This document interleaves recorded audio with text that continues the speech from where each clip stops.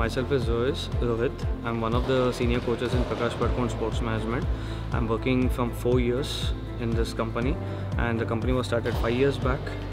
And the motto of the company is to bring up the beginners to a elite level, to an intermediate, then to an elite level, where uh, it is very much mandatory for every student to learn the basics in a right way. Uh, I've been coaching badminton from since four years. So we've been teaching from the age of six till the age of let's say 45 even adults. Student wants to come for the fitness so then we will be going ahead with that way.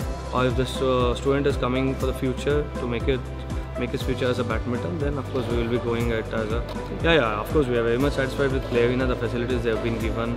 And of course the courts are very good as it is all synthetic mat.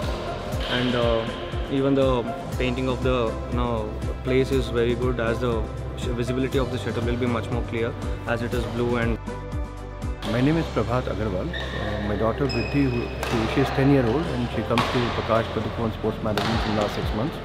Uh, she has been playing badminton the last four years and uh, time to time she comes to play arena for uh, you know practicing here. Yeah, so what I saw at least in the last six months, uh, her techniques have become better and uh, her gestures, and the postures, the way she plays, her stamina. So these things I have seen uh, considerable improvement. I look at whether you know uh, the right kind of ambience, the right uh, setup is there or not.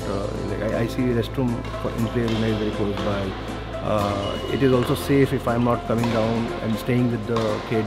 Still, you know, the envi environment is safe. So some of these things, and obviously uh, I mean, Anil sir has been a great uh, support for us, uh, uh gives us a lot of uh, tips as to what she can do at home. Facilities basically like proper restrooms, water and courts because those are the most important. That's the most important thing going for sport. Personally, is like when we CBSE tournament.